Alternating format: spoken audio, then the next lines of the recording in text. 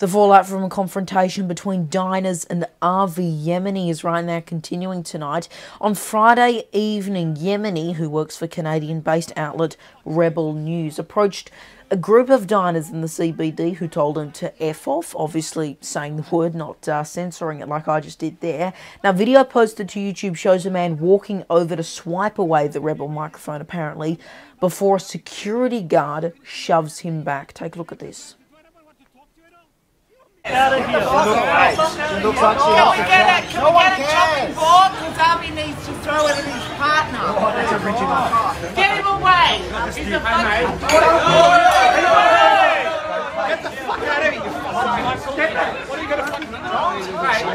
I won't touch you. I'm, I'm setting a public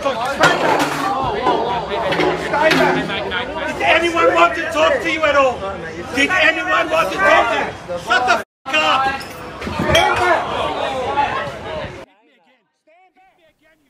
Now, we do know that according to news.com.au, Victoria Police are investigating, saying that a man pushed two others before leaving the area.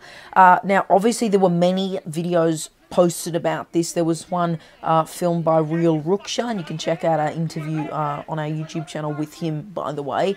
Uh, there was the one posted to YouTube that we just showed, and there was also one filmed by Rebel cameras. Now you can go to our website, 6newsau.com, where we have links to all of those, so you can make up your own mind, but we don't have time to show every single video, uh, so that is just what we know from one.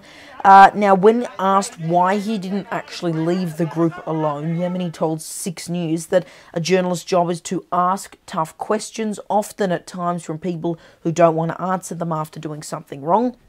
He goes on to say that he tries not to walk away from people trying to intimidate me. I prefer to expose them for who and what they are. Now, he goes on to explain he has a security guard because, quote unquote, since receiving death threats for my work, Rebel has a policy that I have to attend public events with security. Yemini defending his guard, shoving the man, saying he applied uh, applied proportional force based on the threat. Now, you can read his full answers to our multiple questions on our website. I'll say it again, 6newsau.com. Entire answers, no edits there. So, um, uh, that's really good for context. Now, reaction online to this has been mixed, with some, including those who support Avi most of the time, questioning why he didn't walk away, while others said he did act appropriately. On Twitter, the phrases Avi Yemini and Jewish Nazi have been trending, with the latter referring to Yemini's own comments, describing himself as the world's proudest Jewish Nazi. In a since deleted tweet,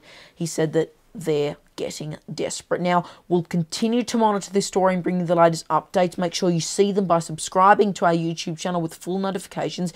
If you want to help keep us independent, go to patreon.com forward slash 6newsau. You donate just $4 a month for a world of exclusive benefits and follow us on social media at 6newsau. Again, full answers to our questions from Yemini and more details on this story. Go to the link in the description, our website, 6newsau.com.